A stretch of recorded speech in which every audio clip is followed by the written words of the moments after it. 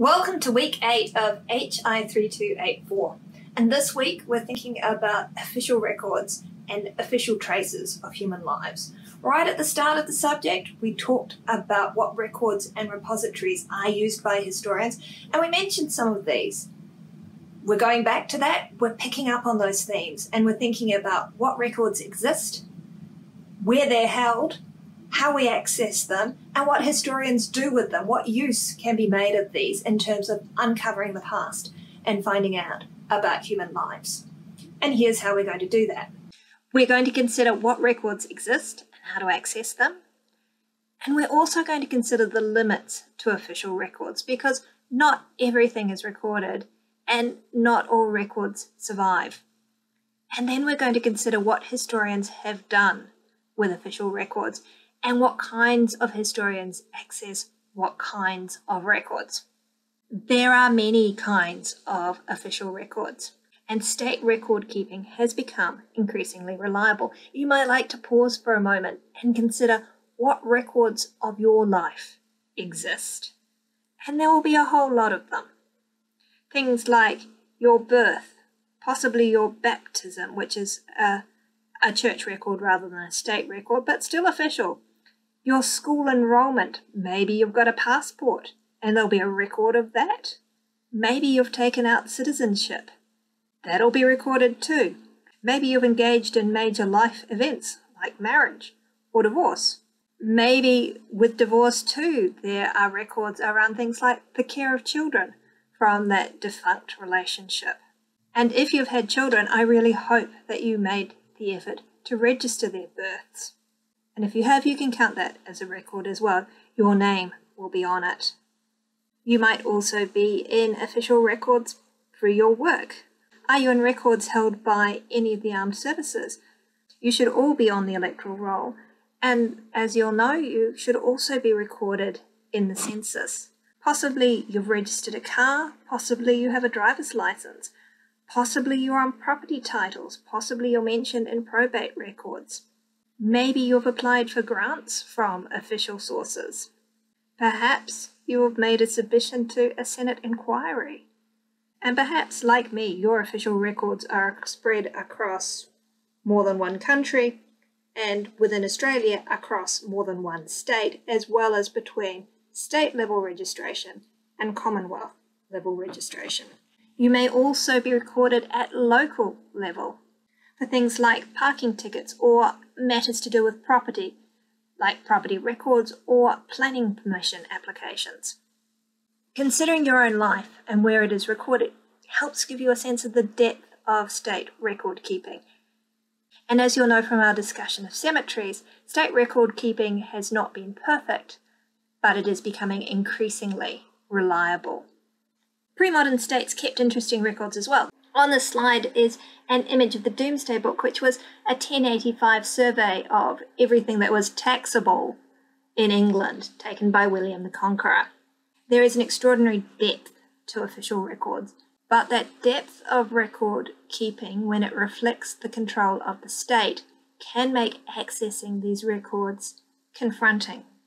In Australia, in particular, state control of Aboriginal people and also state control of convicts and their lives can be confronting. For people whose family are captured in those records and captured in those records being controlled or coerced by the state, official archives can be difficult places. And it's worth remembering that. And that brings us as well to the next point on the slide that states have kept all sorts of records but there must be a balance and access to those records between transparency and understanding of what the state was doing and respect for personal sensitivities. There's also restrictions on access in terms of state security, but that's another matter.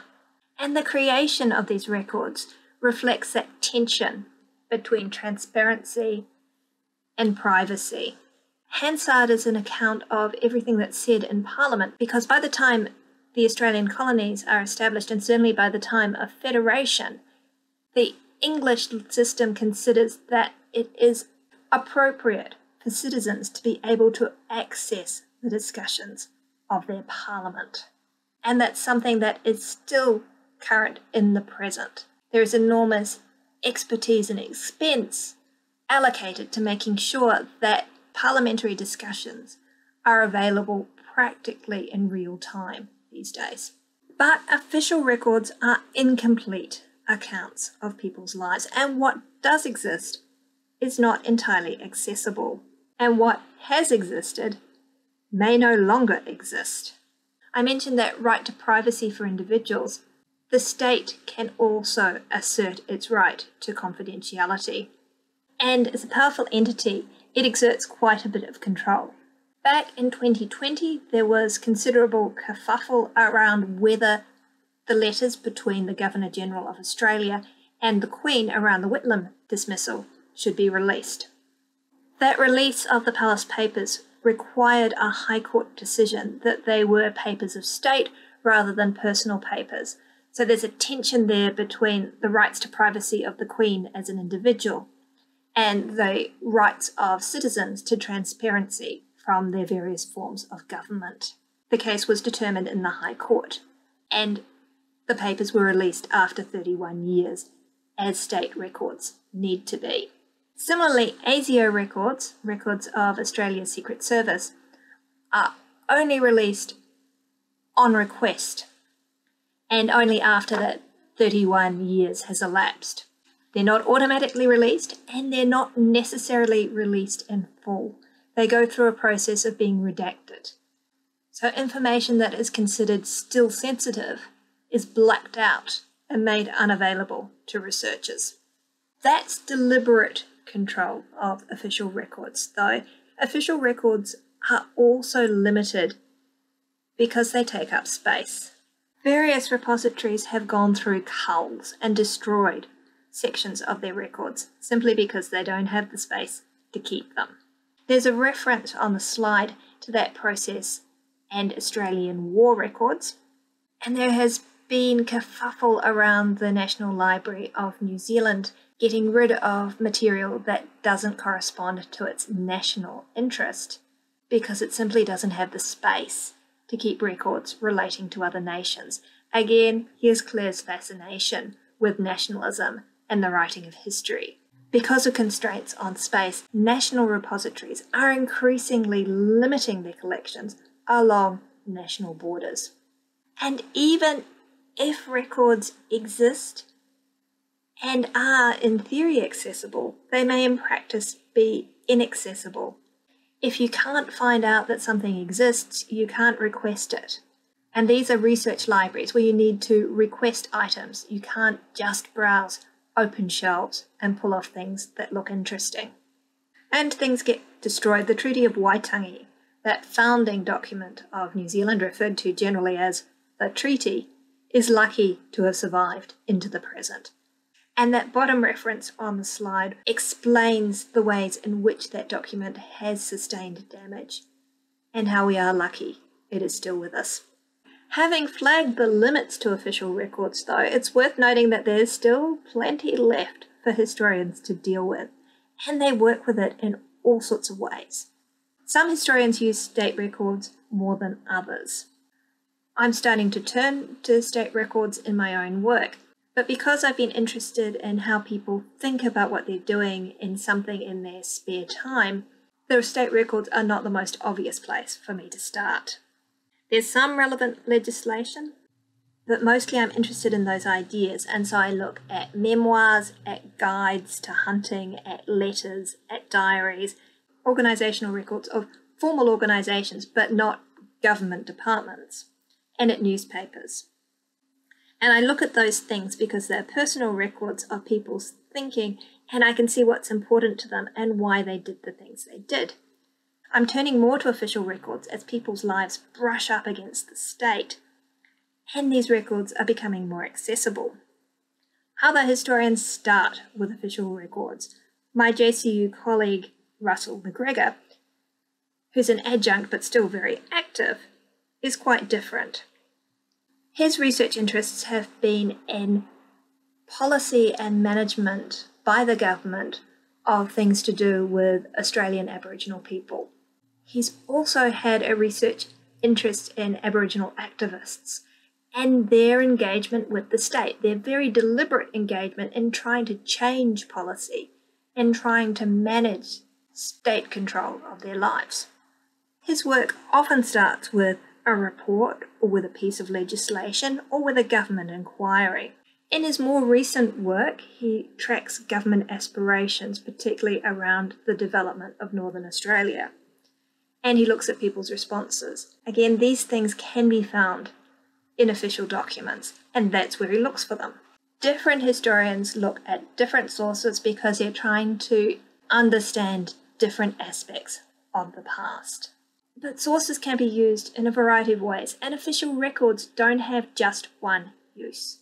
They can be used to analyse those functions of state, government policy, military histories. They can also be used to look into more personal things. From the start of settler colonialism in Australia, the state exercised tight control over the convicts who were sent here and over the military who were sent to control them. There are all sorts of records in Australian history that don't exist in colonial societies that weren't established as penal colonies. In addition, control over Aboriginal people and their lives by the state was established fairly quickly in Australia. And again, there are all sorts of records that stem by that, and as I say, they can be distressing to people who recognize their relatives and who see them being mistreated by the state. It's not only Aboriginal people who have had their lives strongly controlled by the state. I have a friend and colleague who looks at children in care and histories of institutions and people managed by institutions. Those lives were also tightly regulated, and those records still exist and are accessed by historians looking into these aspects of the past. And family historians are everywhere at present. You can see that in the reading for this week. You can see that in reading rooms all around the country. Often, official records are used by family historians to track little known relatives or to bolster their accounts of better known relatives who might be able to leave their own stories as well. And as an environmental historian, I'm turning more to state records. I am looking at interactions around licenses, debates around legislation, engagement with parliamentary representatives, although I remain aware of the limits of the reach of the law. And in wild places, the law and the state aren't necessarily present. But for things to do with money and with property, record keeping is essential. That's a brisk account of all sorts of types of official records and the many uses they can be put to. I think what I'm really hoping you'll take from this week is that when you read a history that you like, you shouldn't just be reading the text, you should also be reading the footnotes. At this stage, it's good to look at how other historians put together their work, at the sources they draw on, and how they use them. It may fill you with admiration for their imaginative uses of what look to be dry as dust records, or it may fill you with inspiration to go and look at these records yourself or at local variants of them and extend their projects in terms of understanding the past. And when I have suggested that official records might be dry as dust, I slander them. On this final slide are links to various Hansards. And Hansard is an interesting place in that while it is a record of Parliament and what is said in Parliament, what is said in Parliament is not necessarily dull, and improvements in online searching make the quirks of parliamentary representation available to historians. Parliament is a representation of the people. We are in a representative democracy. Parliamentarians are supposed to represent the views and concerns of their constituents. And the depth, availability, and commitment by the state to making these records available and searchable mean that there are all sorts of gems that you can discover within this particular official source. At that point, I think I urge you to go out and read footnotes and see what sources historians are using to construct their understandings of the past and to support their arguments about history.